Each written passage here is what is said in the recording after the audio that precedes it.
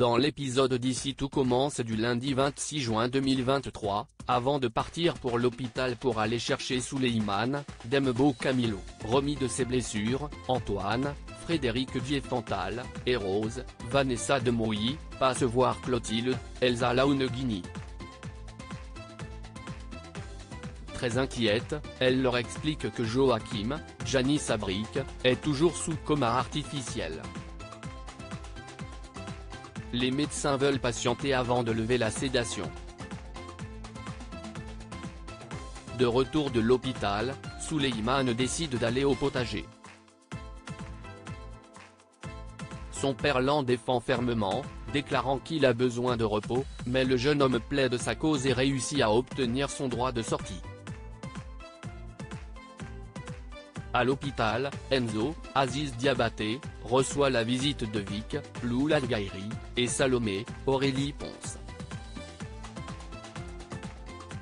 Le jeune homme, blessé aux jambes, se montre confiant, mais Vic est inquiète. Et si son ami ne retrouvait pas l'usage de ses membres? Pour en avoir le cœur net, la jeune femme s'adresse à une infirmière, qui refuse néanmoins de lui dire quoi que ce soit sur l'état d'Enzo. Vic décide donc de se faire passer pour sa petite amie, juste au moment où Malia, Jocelyne Vignon, et Djibril Diané, Paul White, les parents d'Enzo, se présentent devant sa chambre. Le couple est étonné d'apprendre qu'Enzo a une petite amie et s'empresse d'en parler au principal intéressé. En découvrant que Vic a menti au corps médical, Enzo s'amuse et décide de jouer le jeu devant ses parents. Plus tard, le médecin apporte à Enzo de mauvaises nouvelles. Un hématome épidural compresse sa moelle épinière, ce qui explique qu'il ne sente plus ses jambes. Il va donc devoir être opéré en urgence le lendemain matin. Un corps sans vie pouvant être celui d'Axel est découvert Lola, Sandra Valentin, et Philippe, François-Dominique Blin, sont morts d'inquiétude. Trois jours se sont écoulés depuis l'accident de train, et Axel, Thomas Dacosta, est toujours porté disparu. De son côté, Jasmine, Zoé Séverin, Roi du Noir. Ne pas avoir de nouvelles d'Axel est une torture pour elle. Thibaut, Félix Paco, venu prendre des nouvelles d'elle Nicolas Anselmo, émet l'hypothèse que le jeune disparu ne soit plus dans la forêt. Et si les policiers ne cherchaient pas au bon endroit? Dubitative, Jasmine envoie un message à Ethan, Rick Keve, et lui demande de la rejoindre. Solal, Benjamin Douba Paris, propose de l'accompagner, mais Ethan lui conseille de se reposer.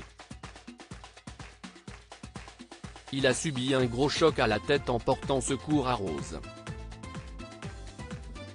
Ayant appris que Tessier, Benjamin Baroche, avait porté secours aux passagers du train, Billy, Margot Aguilar, et Tom, Tom Darmon, vont à sa rencontre pour le remercier. Le directeur de l'Institut s'offusque. Il n'a pas besoin d'être remercié, d'autant que certains sont hospitalisés dans un état grave et qu'Axel est toujours porté disparu. Billy et Tom culpabilisent d'avoir manqué de tact, mais le roi, Stéphane Blancafort, se montre rassurant. Ils ont voulu être gentils et s'y est tout à leur honneur.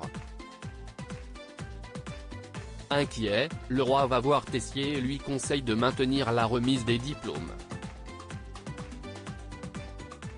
Selon lui, les élèves ont besoin d'un événement positif, et il est même prêt à s'en occuper si Tessier n'a pas le courage.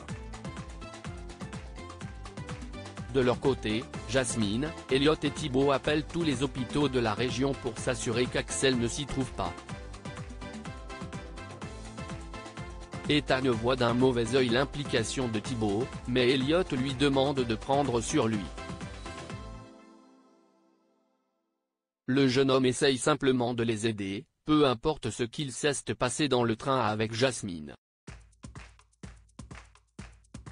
Un peu plus tard, Jasmine va prendre un café et croise Ambre, Claire Romain, attablée seule. Elle en profite pour prendre de ses nouvelles, suite à quoi Ambre lui présente ses excuses pour ce qui est arrivé avant l'accident. Elle s'énerve terriblement. Jasmine lui assure que cela appartient au passé. Tout ce qu'elle souhaite désormais, si est que l'on retrouve Axel. Soudain, elle remarque que tous les SMS envoyés à son petit ami ont été lus. Axel est-il vivant? Sans attendre, Jasmine en informe Tessier et la police. Le directeur est pessimiste. Rien ne dit qu'Axel a lu les messages de sa petite amie, et encore moins qu'il est encore en vie. Jasmine, elle, garde espoir. En fin de journée, un policier passe chez les Tessiers et leur annonce la découverte d'un corps sans vie près du lieu de l'accident. Le visage du jeune homme étant brûlé, il a besoin que les Tessiers viennent identifier le corps.